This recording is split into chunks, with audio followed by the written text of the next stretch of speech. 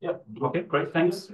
Thanks all for being here today. So um, it's a great honor to have Mark Devlin visit, visiting us today. So Mark is a professor at the University of Pennsylvania. He got his PhD from Berkeley, University of California, Berkeley, and came to uh, Princeton and then to University of Pennsylvania. Um, Mark is working on a four project I've read. So the Simons Observatory uh, that we'll uh, listen about today, but also ACT, which is preparing a data release uh, in the few coming months. Um, BLAST, balloon-borne CMB instrument as well, and Mustang, which is mounted an instrument mounted on the 100 meter uh, dish in uh, West Virginia. So um, thank you all for being here, and now we listen to Mark. Thank you, Mark. Okay, thanks. Well, thanks for having me. I was just passing through and decided to, uh, uh, to invite myself over, I guess. um, so uh, I'm going to be, as as Ken pointed out, this is this is not my map, uh, but it's very beautiful. Uh, I'm going to be uh, talking about the Simons Observatory, but I'm going to be reviewing a whole bunch. I was told to review cosmology a little bit, so I'm going to do that at the beginning, and and then touch in a little bit of what we're talking about with the Atacama Cosmology Telescope just briefly, and then move on to uh, to the Simons Observatory. Uh, the I'll get back to this, but it's a big project, so quite quite a few. It's a circle. Uh, quite a few uh, uh, people involved with this, and I'll get back to that in a little bit. So, um, okay, there we go. Uh, I think everybody's seen slides like this quite a few times in terms of describing the history of the universe.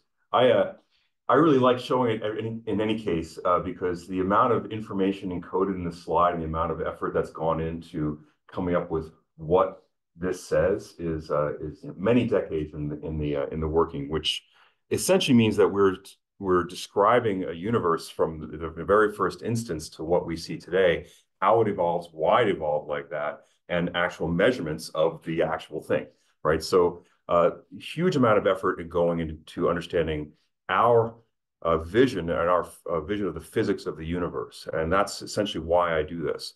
But in, in understanding, you know, just basically what's happening is that we really want to know where is the stuff, where is where matter, where is matter, where is energy, and how does it evolve with time? Uh, how is it organized? In other words, do we see any organization of the universe, any a large scale structure? And really, how did it get that way? And I used to give a talk for my BLAST instrument, which was the uh, a sub-millimeter balloon-borne telescope.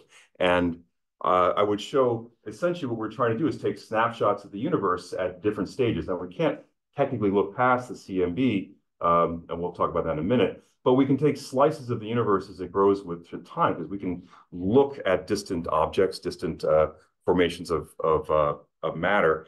And the when we take that snapshot, say, here's exactly the way it was set up statistically as it evolves with time. And that statistical evolution, the evolution of that universe, is a strong function of a number of cosmological parameters of the, the physics of the universe.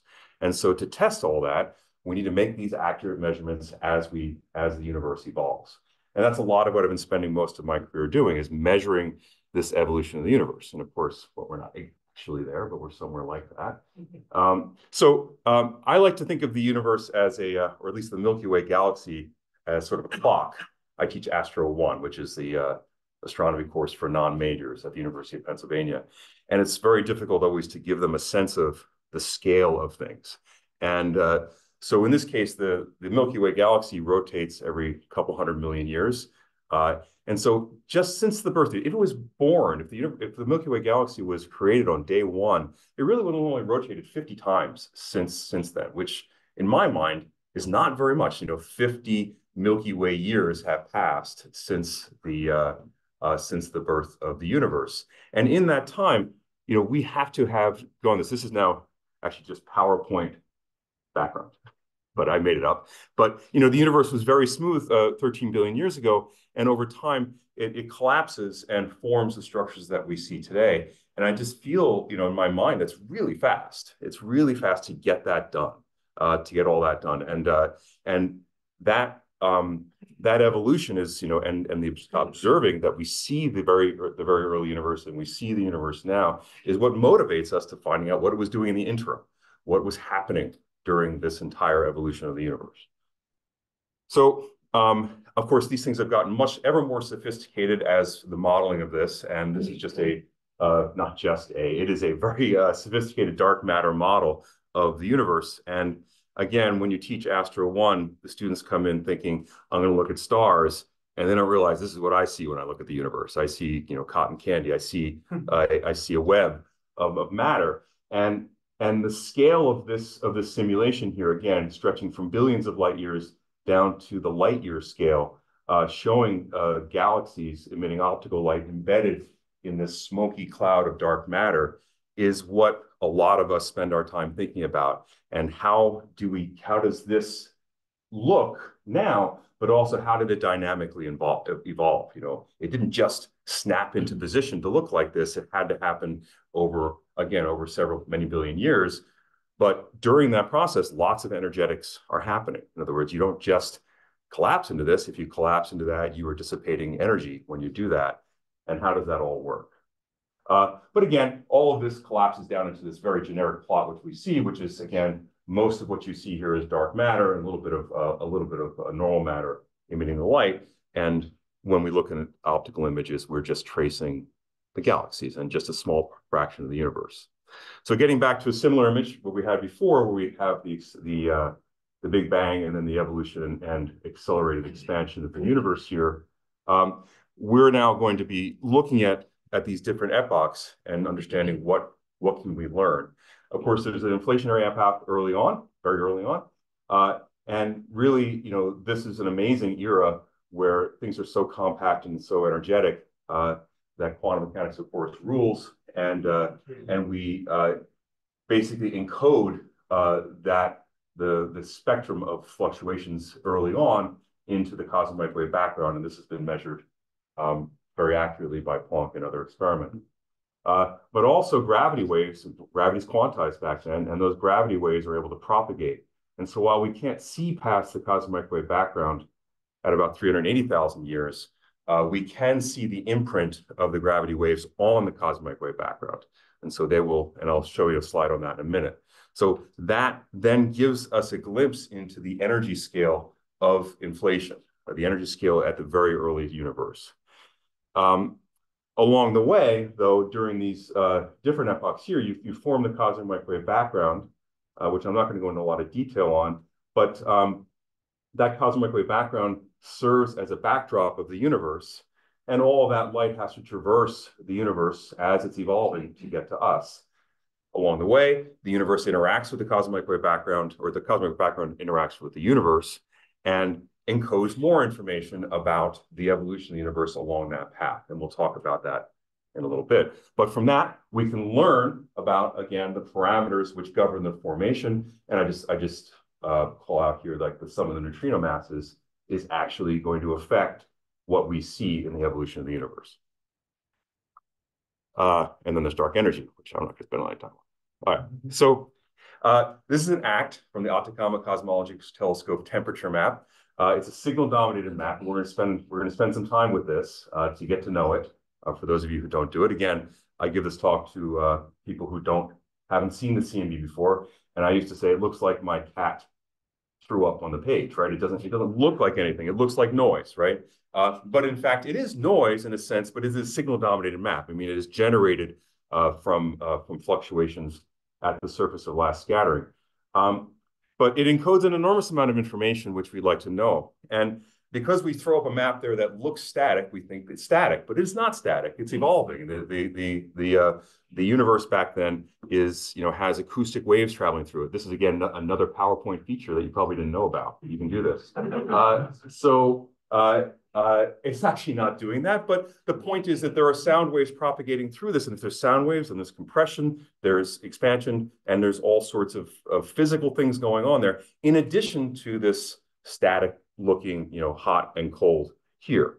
And so um, because of that, it, it, you know, there's lots of different features that we can extract from this. Again, so now, not my map, but as Ken says, but uh, so, but from this map, you can then do what we do is, power spectra, which is, in other words, we under, we'd like to understand on what scales these things are happening on. So this is a temperature map. Again, hot is red and cold is blue.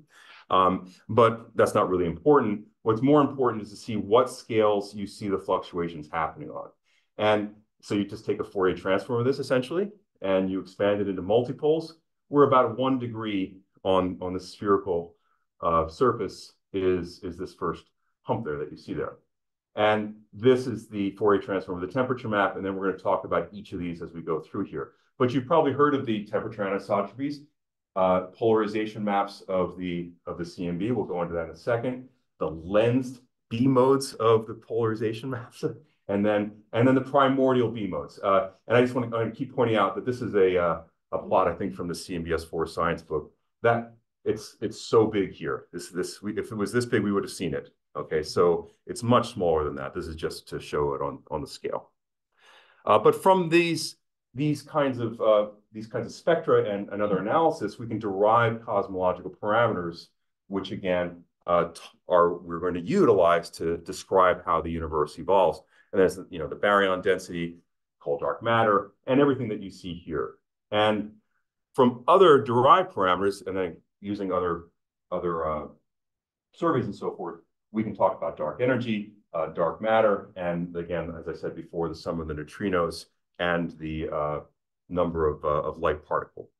So uh, lots you can do with this. And this is why it's so incredibly fascinating to so many people across so many fields, from high energy physics all the way through astronomy.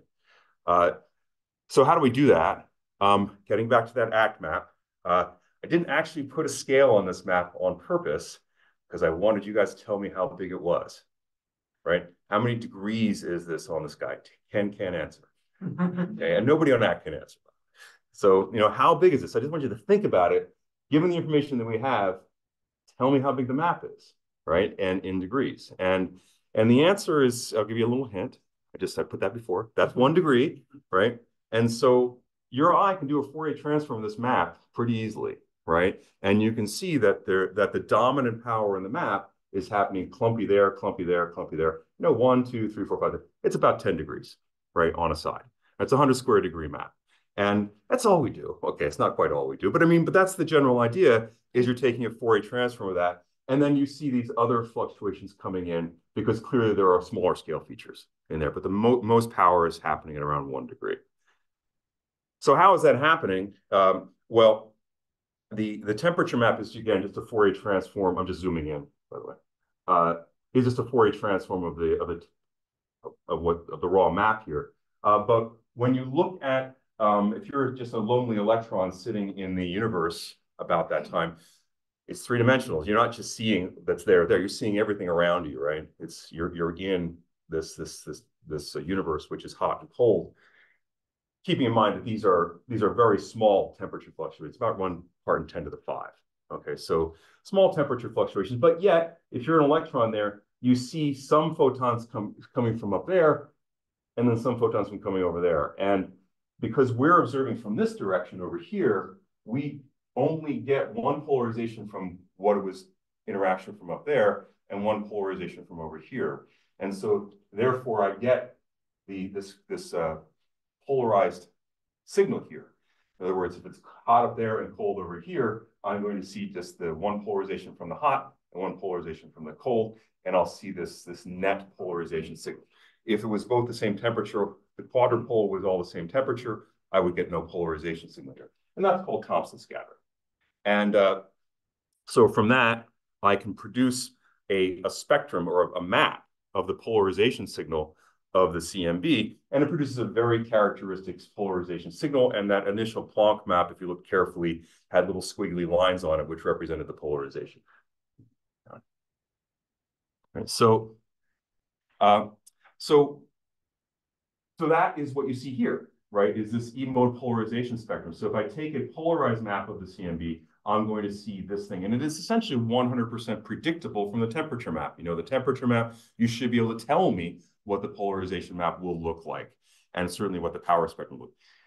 When I was when I was a graduate student, uh, you know, we didn't even have this, even the first bump, right? So now we have that down to exquisite. Um, uh, I'm going to guess it. Do this turn this. Ooh, look at that. And, oh, there we go. All right. So um, if I take the, yeah, so we had nothing here. Now we have this to exquisite precision. And now we have this to pretty good, very good precision. And we're going after this, right, as currently. Now, um, also happening at the surface of last scattering are these potentially primordial B-mode gravitational, gravitational waves basically interacting with the CMB. And that is squeezing and stretching space. And so that results in essentially a motion of the matter, which would then move, make it look very similar to what you're seeing, the same figure I showed you before.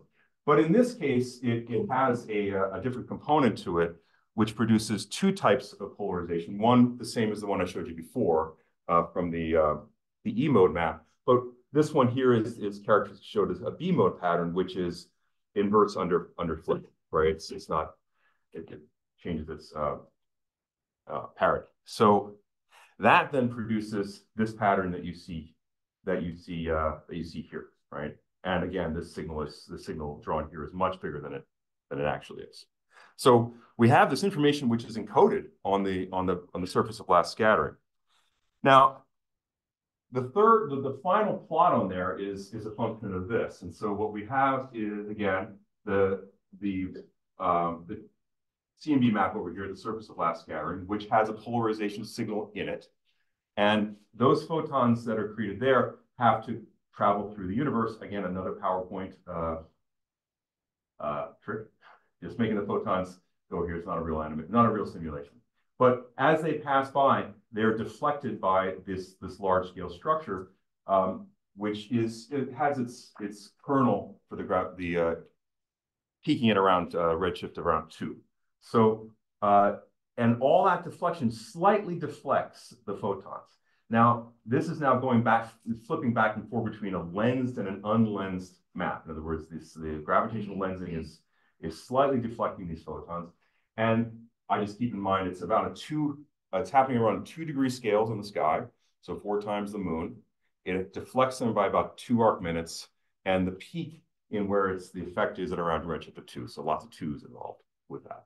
And uh, um, so each of these two maps, they're they're essentially Gaussian, so you really can't tell if you you don't know what it is, right? In other words, you you look at a map and you say, well, it's it's still random, right?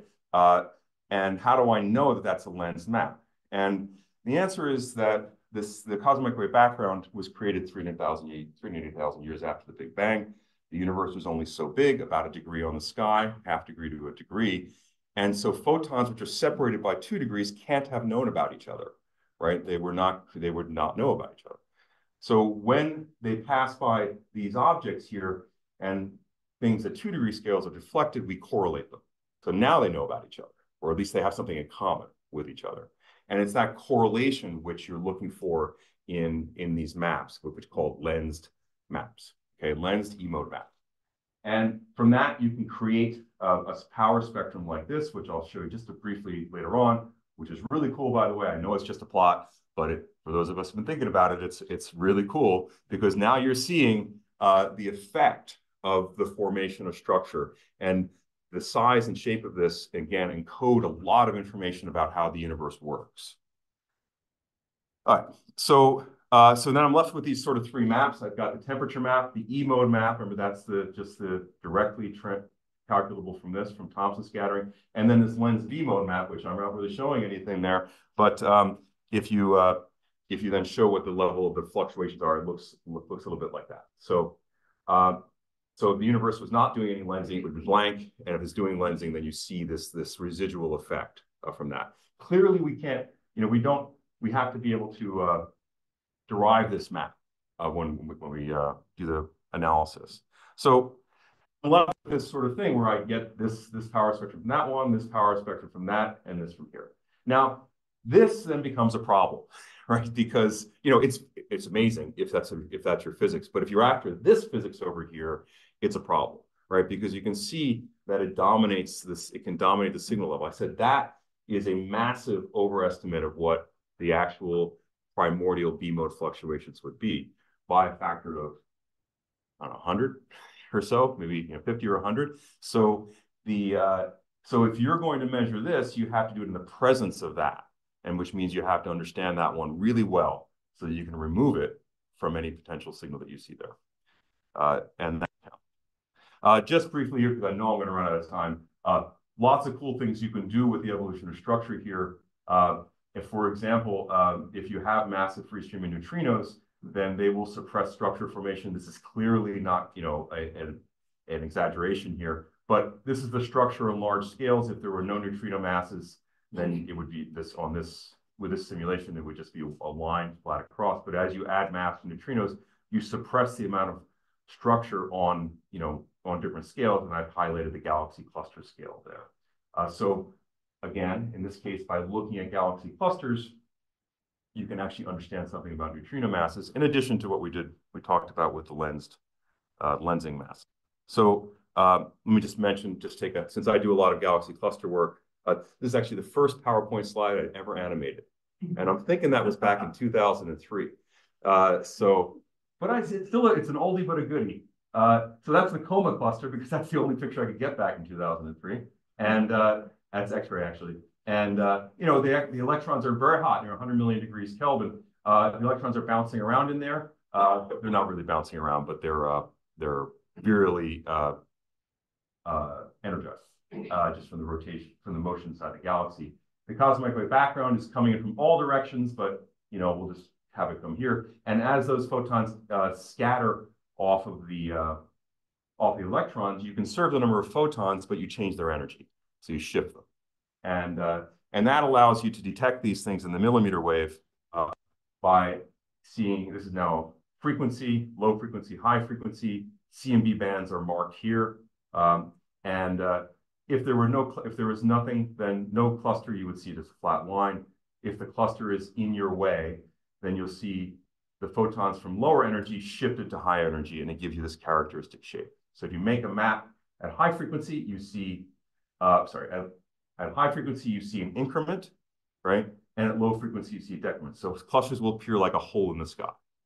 Very easy to make things hot in the universe, like stars and galaxies.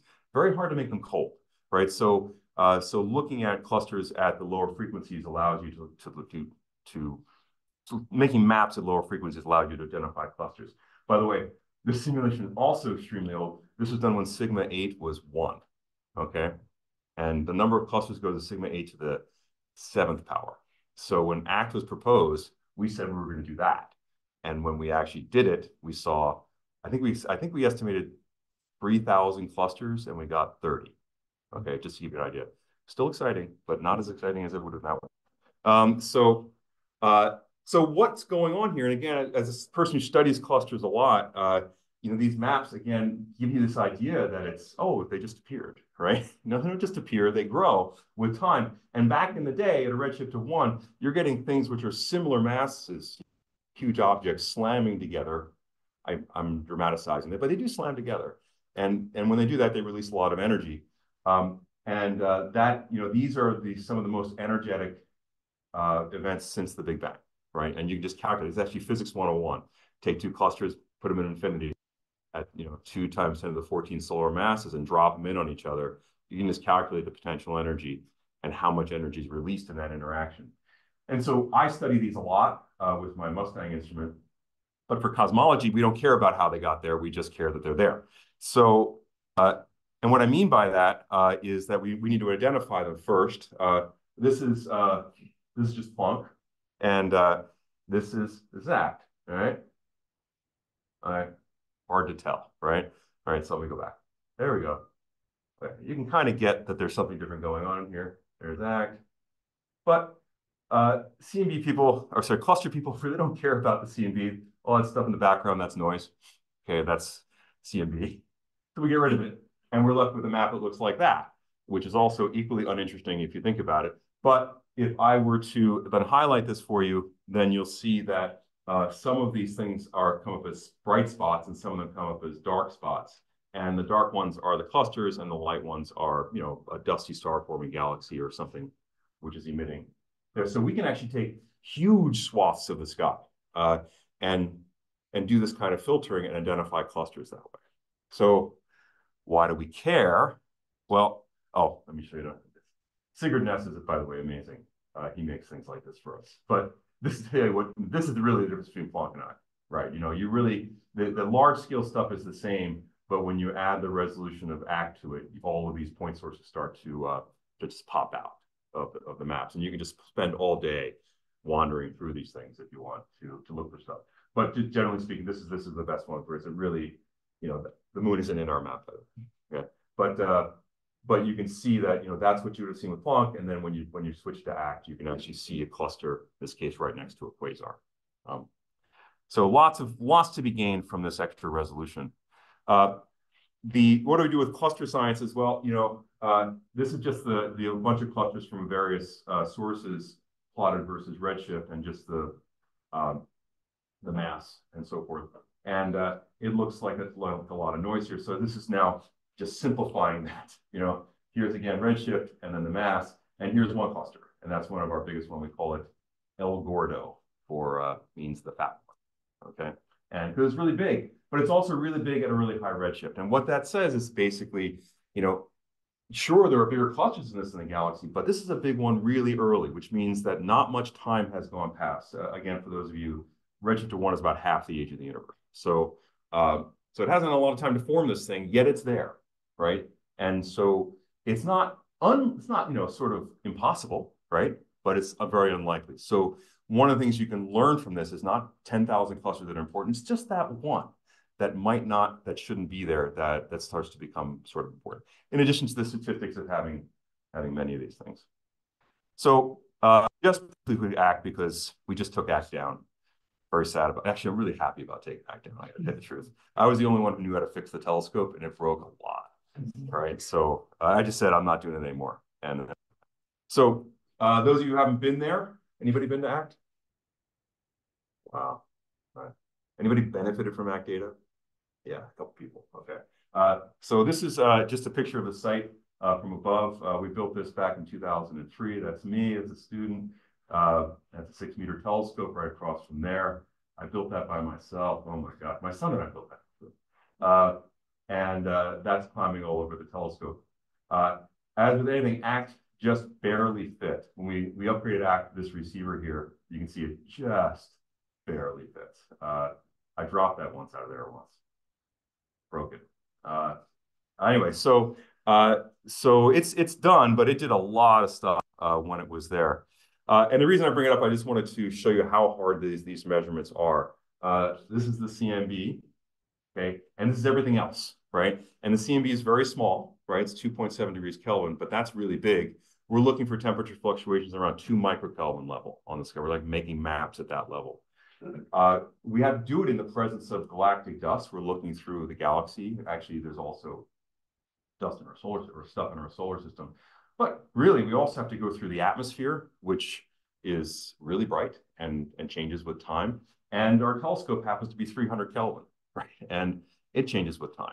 So uh, when you think about it, we're trying to make, we're trying to suppress these signals by, you know, sort of eight orders of magnitude uh, in order to make the make the measurements we're doing, and it's quite tough. And most of that happens uh, as a combination of the instrument, people working with uh, uh, theoretical predictions of what you should see, and the analysis of this. So um, the you know that we do this in a, in a number of ways. Uh, one is we build big ground screens. You can't see ACT for a reason because we built a big screen around it so the ACT can't see the mountain and can't see the ground, can't see a truck driving by, can't see you walking by.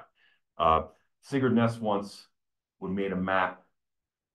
Sigurd Næss is uh, one of the people who works on our analysis uh, using the ACT telescope, and he said, Mark, he made it in ground coordinates, not sky coordinates, ground coordinates. He said, what's this dot over here in the map? It should see nothing, right? And I said, I don't know. So I walked out, I happened to be there. I walked outside the control room and I looked up there, big piece of plastic, you know, sitting on the city rubber, actually sitting on the ground. I don't know how it got there, but it's a big piece of rubber. I went and took it down. And so the ground screen actually does stuff and uh, and it shields us from that. Now, something like that doesn't matter because it it's static, right? It sort of just smears out.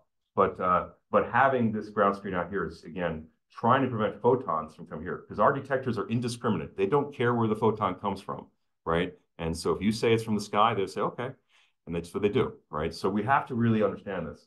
So we modulate the signal with half-wave plates, uh, and but mostly what we do is put in many many bands here. If I just knew the photons were coming from the CMB, that's all that was out there in the universe, then you could just do this with one band right? And just make it as sensitive as possible and throw all your detectors in one band. And that would give you the deepest map you could possibly make. But because you're trying to suppress all these other sources of signal, the synchrotron, uh, dust, uh, the telescope, and other things, you need to have multiple bands, and that allows you to do component separation. You can separate the different components of the signal to get out what's left over, which is the CMB. All right, so that's hard. Uh, and I'm just going to flip through these. ACT Active, beautiful. Act made beautiful maps. Act made even more beautiful maps that all look like noise. Uh, and uh, it's cool. But that's, you know, this is uh, E mode and B mode maps. And so these are real signal maps. Is that the Planck on the right and ACT on the left?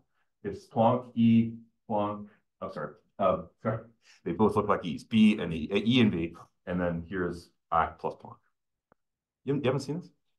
I can not see them. Sigurd Næss.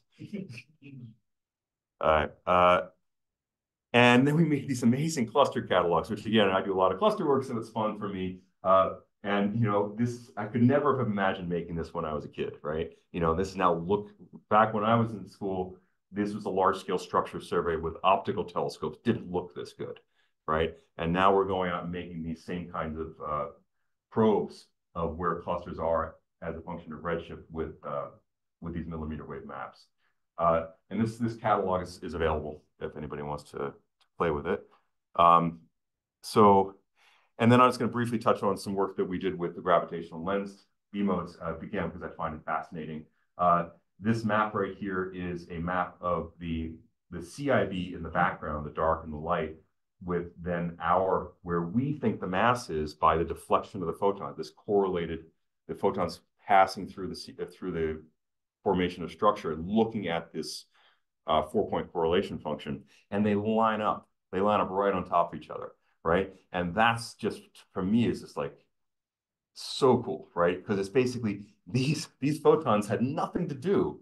They weren't emitted from these from the CIB. The CIB is coming. Cosmic infrared background is coming from the evolution of the the formation of gal galaxies. Basically, where are the galaxies, right? And where is their emission? Where's the light coming from? So you look at here's where the light's coming from, and then this is a mass map saying where is the mass from these photons that were created at the you know at the big uh, the CMB. So that correlation is is amazing. And what's better than that is that when you use the CMB, the primordial signal, to predict where the mass is going to be using our cosmological model, that's also what you get, right? So it's it's basically like saying, here I am, I measure the beginning of the universe, and I predict what it's going to be later on. So imagine I just said, okay, shoot an arrow over a wall, can't see what's on the other side of the wall, but I'm going to tell you where to aim the arrow, right? And give the parameters, how far to pull back the bow, what angle to put it at, what, you know, whatever.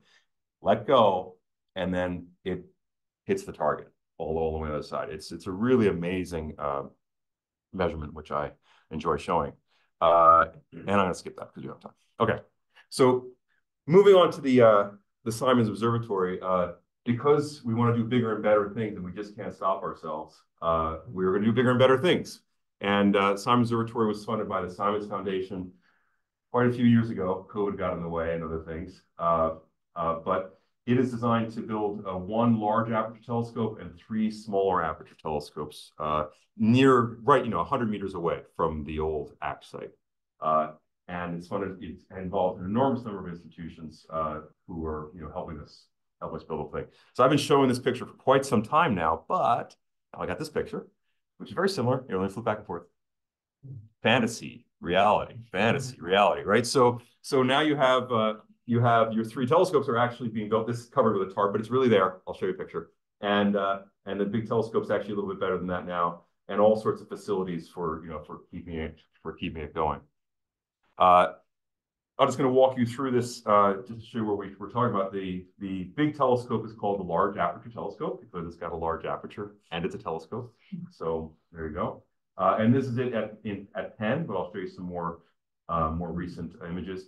And the, the instrument here consists of three, what we call optics tubes. And at the bottom of three, the three optics tubes is, are three arrays. And so each optic tube contains, um, each array has around 2,000 or so detectors. And so you can do your multiplication to get how many you can fit in the entire thing. So one of these optics tubes is basically like ACT. Okay, so it's a it's got quite a bit more uh, capability than ACT does. Now, the primary mirror is the same size as, as ACT was. Uh, and those of you who don't know optics say, well, how'd you get any better than that, right? Uh, the, the primary just gives you the resolution. Uh, the the étendue or the, the, the focal plane uh, is the throughput for the telescope. And you'll notice the secondary mirror is almost as big as the primary mirror here, whereas an ACT is about a third the size. So that gives us an enormous focal plane to work with, and then we can pack more detectors into the system. Tons of stuff I can tell you about this, but basically the general idea is our detectors are as sensitive as they can be, okay, from Chile. So the only way to get a better map is to wait longer, and I don't want to die while I'm waiting for this. So waiting longer means 100 years, or make more detectors and put more on. So that's how that's why you build a telescope like this. So, um, and then we have these three small telescopes. This is this is the uh, one of the telescopes on its on its uh, rotating platform here. We have three duplicate telescopes, and their scan sky. Why do you build three? Need more detectors. It's just about it. You can't you can't make a better detector to help you. So if you want more sensitivity, it's just more detectors.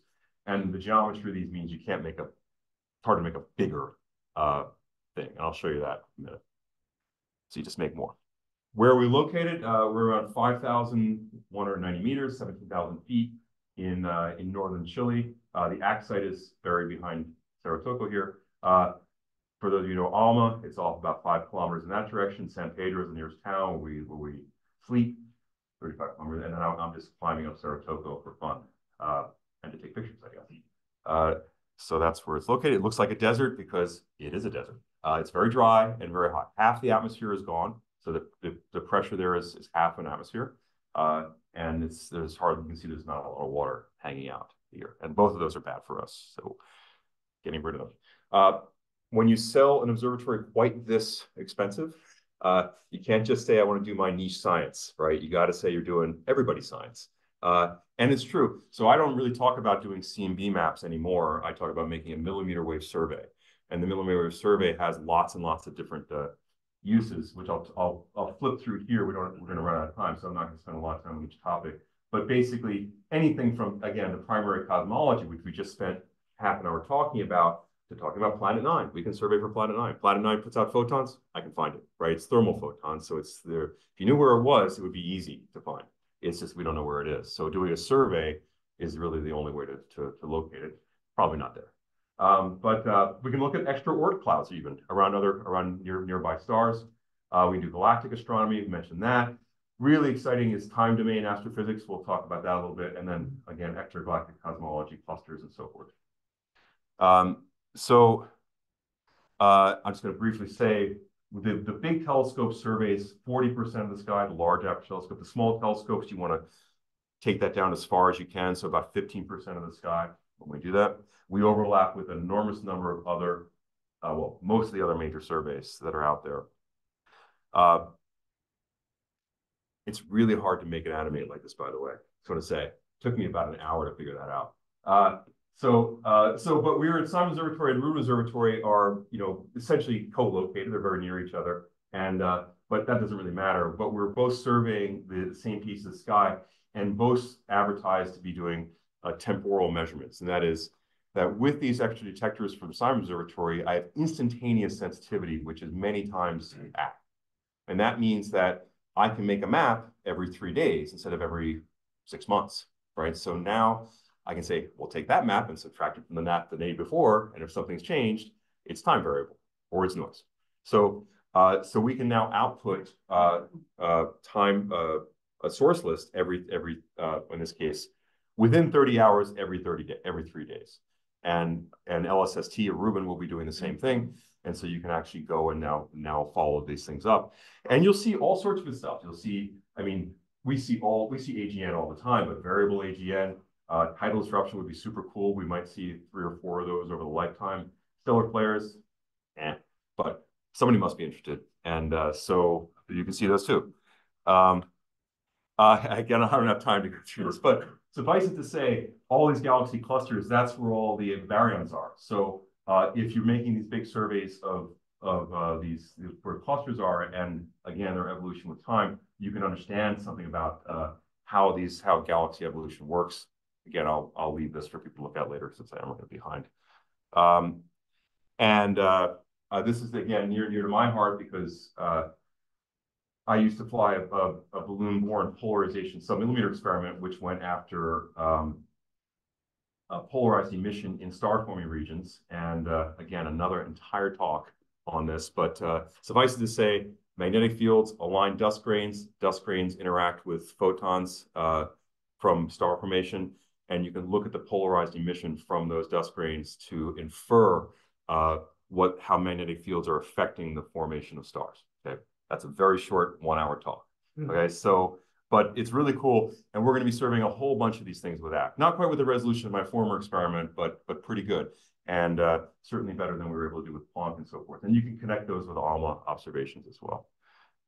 Um, and we already talked about this. Uh, we can go and, and, learn about the B modes with these three instruments here. Uh, the levels that we're going to be getting uh, with advanced SO, which I'll mention in a second, are down to the you know 1.2 times 10 to the minus 3 range, uh, which is, again, very far down. If, if, if it's not there, it's going to be um, unusual, let's just say.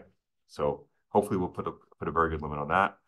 And then finally, uh, with this lens B modes, we can actually, again, put limits on, on, a, on the mass of neutrinos. And this is sort of important because, again, you can think of the universe as a relative relativistic particle detector in this way, and we can sort of limit uh, uh, the, the existence of certain kinds of light particles uh, down to, again, down to the first instance of the, uh, of the universe. So again, these are really sort of fundamental measurements that can be done with this, with this telescope. Uh, and then if you're ever if you're interested in ancient uh, controversies, okay, uh, most people are. Uh, this is not real, okay, but this is the kind of error bar that we would be getting. And so if you get that error bar and we're still sitting over here, uh, you know, some you, you can only call it just a tension, right? That's just a disagreement at that point. And so you're gonna have to figure that out. Uh, and we're gonna skip that. Uh, so talking about uh, the, the Simons Observatory, this is the telescope again. For those of you who don't build instruments, and I'm guessing most people here don't, maybe? Okay, I'm gonna show you how they work. All right, so if photons come in, they bounce off the primary mirror onto the secondary mirror, and then they go to the focal plane back there. Uh, and that then goes into the receiver. So this receiver is sitting here, right? And uh, so the photons enter into one of 13 windows, and each of those is a focal plane. So each window corresponds to a different position on the sky, right? And the whole thing is scanning back and forth like this. So we're scanning, we're instantaneously, this is around, you know, nine degrees from here to here on the sky. Okay, 18 times the size of the moon. And you're scanning that across around about 120 degrees, just going back and forth, back and forth, scanning the sky. They go into what we call one of these optics tubes over here, and that's an optics tube. Uh, I could spend another hour talking about just this thing. I'm very proud of it, but we're going to skip that. Uh, uh, but the photons come in, and then they go through a series of lenses. They refract, uh, and they end up on this, this focal plane here. Telescope's 300 Kelvin. Uh, there is a, an 80 Kelvin stage here. There's a 40 Kelvin stage here, which you can't see. That's 4 Kelvin. That's 1 Kelvin. And that's 0.05 Kelvin. Okay, so colder and colder and colder. I'll tell you why that is in a second, but it's cold. Okay, so the photons end up on the focal plane back there, and a miracle occurs over here as far as you're concerned, and we read out the detectors. It's a, again another several hour long talk, um, and uh, that focal plane, one of the three arrays looks like that, and you zoom in, it looks like that. You zoom in, and it looks like that, and you'll begin to see these two little antennas in there. That's called an orthomode transducer. So each one of those horns, the photons come in like, doesn't really look like that, by the way, but get the idea. Photons come in and they go down onto this, and that's how you get polarization. Okay, so one, one, one picks up one polarization, the other picks up the other polarization. And if you look carefully, you see they're not all oriented the same in the array, but uh, there are two polarizations each. And then there are four detectors on each of these, two polarizations and two frequencies per detector. So four detectors per per pixel, if you'd like, on the on this on the system. All right. How does that work? Well, there's the CMB back up again, and there are detectors. I used to make detectors that look like this when I was a graduate student. Don't anymore, but uh, now they look like this. But the same idea applies. Uh, photons come in. It's coming from a hotspot. it hits this, this is 0.05 degrees Kelvin or 0.1. If it hits this, it warms it up. You measure how much it warms up. That tells you it's warmer where you're looking. If it comes in from a different spot that's colder, it cools down a little bit, right? That's all we do. We measure the temperature of this little thing. In this case, it's temperature of these little islands over here, but the same, same idea. So we're able to then calibrate and then measure what the temperature of the sky is by measuring the temperature of this. They're called bolometers. That means heat meter, essentially. So um, we'll skip this. It's a very complicated piece of equipment and very impressive. But it cools about, about uh, I don't know, 12 graduate students worth of material down to 4 degrees Kelvin and, uh, and about uh, 120 kilograms down to 0.05. So it's a, it's a very uh, um, effective piece of instrument. Uh, this is just a few weeks ago when I was down in Chile. Uh, we're installing six of the optics tubes are installed now. A seventh one goes up there, and then the Advanced Simons Observatory fills the rest. Uh, cool optics tube, won't spend any time on that. Um, we did actually verify this thing works, and so we have this in the case we're measuring one of the optics tubes. It has pass bands at 90 gigahertz and 50 gigahertz. Uh, those of you who were on ACT realize, remember, we had lots of issues with the beams on ACT, how they how they illuminate the sky. So now we've measured those really well in the lab. So we're pretty confident that they will not have those same issues we're doing at that. So everything is ready to go uh, for observations.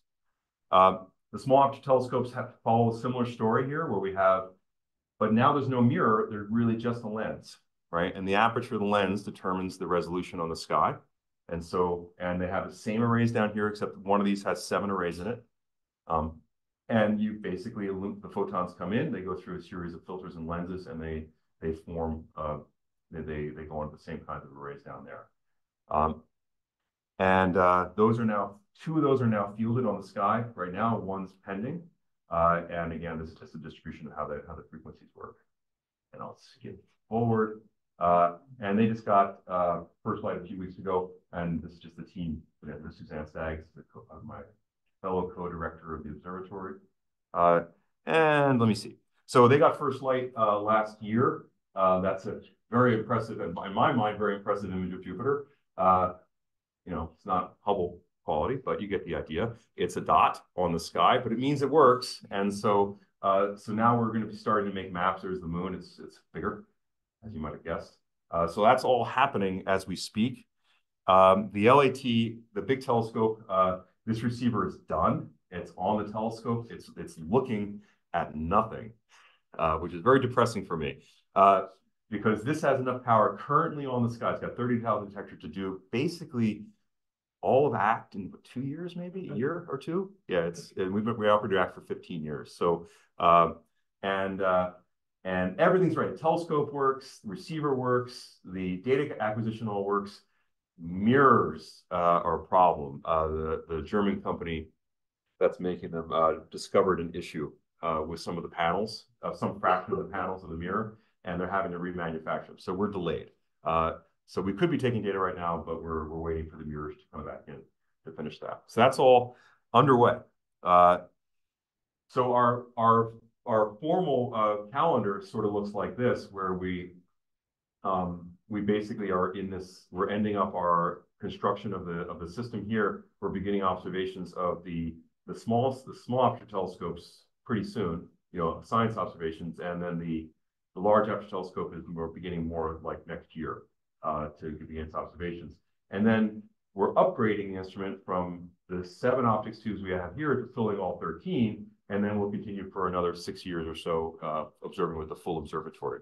Uh, at the same time, Rubin's coming online, and then we'll be able to do transient triggering with them and, and do lots of follow-up with that. So lots happening over the next couple of years to make this work. Uh, and I'm going to skip over there. We're just building more, more stuff, right? Uh, but that's the Advanced Simons Observatory building more detectors for the LAT. And uh, an enormous component of the Advanced Simons Observatory funded by the National Science Foundation is software.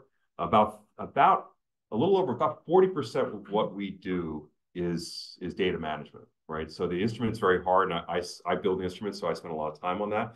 But the, the, the software involved from taking it from a time order data that is like, it's now, it's, you know, have just, just points on the sky, uh, to making an actual science quality map, it's, it's a huge amount of effort. So this is a very expensive piece of instrumentation. About a third of what we do goes into that, that kind of thing. Um, and then finally, just want to end up with a with a green point. Uh, uh, I, I burn swimming pools full of diesel every year. I mean, I'm not kidding you, because we're a remote site, and so there's no power, so it's all diesel. We're bringing trucks every other day to power the instruments. So uh, the NSF uh, generously gave us enough money to build a essentially about a 1.5 megawatt solar plant uh, down down the mountain, which will then set you know when it's sunny out and we have batteries, oh, you should never hear a generator. Uh, it's only the generators are coming when it's cloudy essentially. So we hope to replace about 70% of the power with uh, green energy, saving about 2 million kilograms of CO2 per year. That's actually happening right now. I mean, they're, uh, that'll be built at this time next year and, and up and operating. And, uh, and then there's a future, right? So there is the Simons Observatory down over here. You see the three telescopes, the big telescope and the old ACT telescope. And we're hoping, this is all, uh, you know, sort of in process that ESO Japan will build one SAT, which will go on the old ACT site. And uh, ESO UK will build two more SATs, which will go on some uh, platforms from Polar Bear, Simons Array, they're there. And then maybe there's ESO France, we'll see. Uh, and then CMB-S4, right? And so there's a whole bunch of space over here for CMB-S4. And again, all the infrastructure here can serve CMB-S4. The, the green energy can, can serve them as well. And so hopefully this will all be coming together over the next uh, next decade. And I think that's it. Yeah. Sorry, I went over.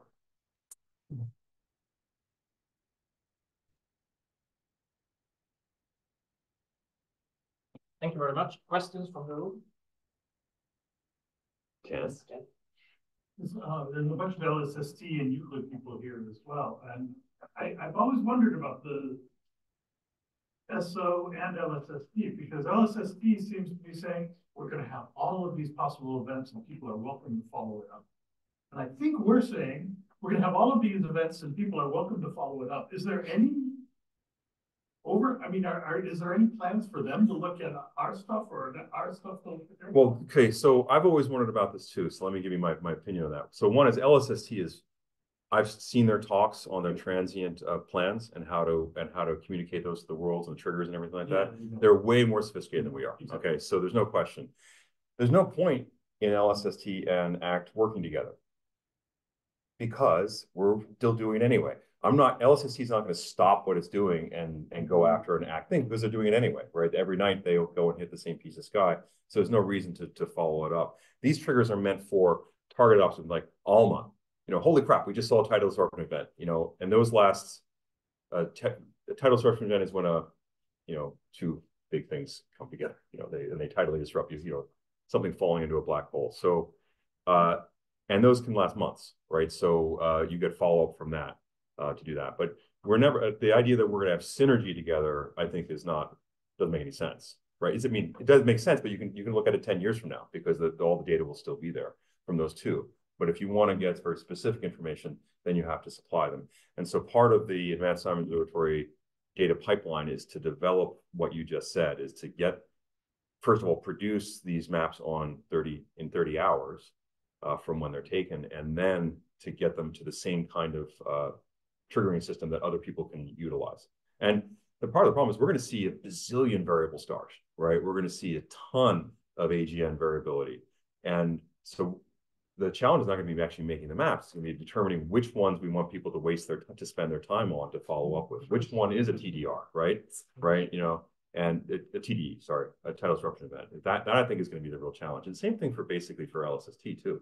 Everything's going to be variable with these sensitive instruments. So we're going to have to keep looking to just to boil it down because eventually people will stop saying, well, I'm not going to follow that up. You, it was just a, it was just a variable star you sent me after and it wasn't worth my time. That's something interesting. Yeah. We'd like to ask a question about galactic order. When you talk too much about the, how much yeah, to the precision which you want to reach, how much galaxy yeah, so we spent a lot of time you, talking. would you repeat the question? Oh, I'm sorry. So he's asking about, um, are you really, I think I'm going to summarize in a much, in a much meaner way. Uh, how, how well do you have to do to remove the galactic foreground to the level that you need to, to achieve the science goals that you're, that you are, you're advertising? And, uh, let me just switch, there we go. So, um, The answer is, uh, I don't know the answer to your question, and it's not going to be limited by our sensitivity, right? It's my guess. It'll be limited by other things. And uh, so we've spent some time talking about this, but you know, these bands, they're they look pretty simple, but they're not simple, right? The bands are complicated. And uh, and you see that they're, you know, we we put them at this exact location, but maybe they're not that exact location, right? Maybe they're maybe they're moving around. Uh, we've talked about how the atmosphere might be affecting the pass bands as a function of time. Uh, a lot of those things introduce noise into the analysis, right? And so then it just reduces your sensitivity, right? So, so the I think as we go deeper and deeper and deeper, we're going to have to start to figure these out. But there are games you can play. Uh, for example, if you know these bands with infinite precision and they are different, then that actually gives you two different bands, right? So if you actually know the bands better, then you can do you can do a better job with that. If you really run into troubles, you can actually start to split the bands, but that that's a, at the cost of sensitivity. So you have to see where you bottom out. Right now, we're not there yet. and There's no reason to, to take that hit sensitivity, but I think eventually you, one might feel another instrument. You could put, we have 13 outputs, just pull one out. All I gotta do is replace the filters, I mean, detectors really, and put in something slightly different, and that gives me more more resolution. Or frequency. For frequency resolution. Why are the three bands, uh, the last three in gray? They're not. Because I can't do them, they're from satellites. Okay. Right, so you need, you need a size. So LiteBIRD, for example, has what, ten bands or something like that? Ten, is that ten? Yeah, Yeah. for this reason, right? I mean, it's because they can, right? They don't, in other words, our bands are placed where the atmosphere allows us to place them. Um, but if you had, if you had access to all this, you, you do all sorts of different, you'd have a band there, right? Why not, right? But that's where I'm out of a huge It's a water line. water line, yeah, right? So you can't. And so the, the advantage of going to space is enormous uh, for the for the frequency resolution, uh, sorry, the, for the frequency access.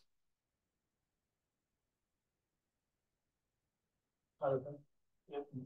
Yes, so I have a question regarding ACT and transition to SO. So what what what's the next, let's say, plans for ACT regarding the data release and, and results which still need to be oh. published? And and and is there any plan uh, with the it's instrument, the chart is, is Well, if you've been around two years ago, I would have said, do you want it? uh, because we, uh, we, we shut it down, we took it apart. It's, so the plans are, uh, it's going, the telescope is going to be used at an educational facility down in Chile. So we're giving it to a uh, local university and they're going to put it up to, I don't know, do something with. And uh, the instrument, frankly, uh, it's to be back in my lab soon. I have this idea I'm going to fill it full of lucite and then cut it in half and put it up as a display. But, so that's my plans for ACT. Okay. And that's only if I have time. In terms of the data release, uh, we're, you know, we have weekly meetings on this and uh, there, uh, there's, you know, it'll be out, I don't know, soon-ish. Could be very soon. We'll see. Including the cosmological analysis with the clusters, for example? Yeah, yeah, yeah. That's, uh, we look at it every week. I know it's an act, you know, we're not giving up on that. I mean, in fact, now that the, uh, frankly, when you think about it, us being delayed by a year sort of helps that, right? Because uh, if, if I started putting out, remember the mapping speed of this instrument is nine times the mapping speed of ACT.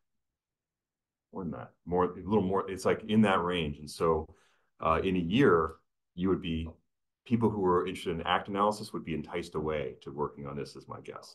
But uh, part of our deliverables for Advanced Simons Observatory to the National Science Foundation is to actually analyze ACT maps. And so the same, the same software infrastructure we're developing from that can actually be applied to ACT. We'll be testing it on that. So, so all that's going to happen. It's testing, you know, that's part of our charge. Other questions? Yes, and you uh, what was also sensitive beyond uh, like a number? R. Yeah. The one sigma, I did, I did show it, I just didn't, I didn't highlight it. Uh, this one point two times ten minus three is the one sigma number. And that's could be compared to CMBS four, which is, uh, five times ten to the minus four. I think is their number. Is it three? It's five, it's five times ten to the minus four. And, and the limits on that is coming from like number. At, yeah, I mean, you can do that. That calculation you can almost do in twenty minutes, right? You just, uh, the, the, the subtleties of that come from uh, sky coverage. Uh, in other words, I can, I can tell you the depth of the map pretty quickly, given the number of detectors and the integration time and stuff we know about the site. Uh, but the devil's gonna be in the details of all of these things as we get down to um, foreground subtraction and uh, um, as we go deeper and deeper. But we're not gonna hit that limit, I think, for a couple of years as we integrate down. But to get down to that number there, you know, I think we have to wait, right? And there's gonna be a lot of stuff that has to be worked out uh, to to make sure we can get down to that number. And and five times ten to the minus four, same thing, right? You're gonna have to just do this. So the difference in the sky coverage comes from how much you think you can delens. Remember this B mode, how much you think you delens from the cosmic infrared background itself. So now if you know where the, where the matter is, you can predict how much the E mode signal will be lensed to produce B modes from that. So there's a there's a correlation to that. And uh, that's called a lens, you know, what fraction that you think is of that B mode power you can get from just the CIB. And uh, when you go to larger coverage, uh, you can do more with the CIB. When you go to smaller coverage, like uh, say 7% of the sky, then you the CIB is no longer adequate for doing that, and you need to use your own telescope to actually directly measure the lensed E modes, the B mode from the lensed E modes. And that's what that's what CMB-S4 is planning on doing. So they're building a special telescope in Antarctica whose only job, well, only, I mean, primary task is just to delens, right? So, and again, we haven't done that before, right? So we haven't had to delens, and so we don't know how well it would have to be, and that'll also be subject to foregrounds, right? So all of these things will be will be coming into play um, as we go deeper and deeper, and we're going to learn more. I mean, I've been doing CMB for for a long time now, and we've never run into an insurmountable barrier yet. But boy, do these problems look hard, right? And so, but they looked hard before, right? And we always got past them. If you told me we could make a map from the garbage I produced from ACT, I'd be like, really? Right. And then, you know, the analysis people are able to do all this component separation because we designed the experiment very well. But when you look at the raw data, you're like, wow.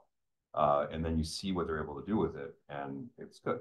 But eventually, they're going to come back to us and say, hey, we really could use another band, or hey, you know, you need to measure this more accurately in order for us to do this. So, and that, that's going to be happening. I mean, I, I just can't believe it's going to go to quite to plan over the next 10 years. In 10 years, we're going to say we need something else.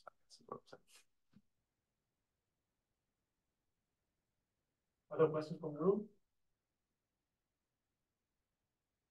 Okay, I don't see any on Zoom, so I think we can uh, we can stop here. Thank you very much. Yeah. Yes.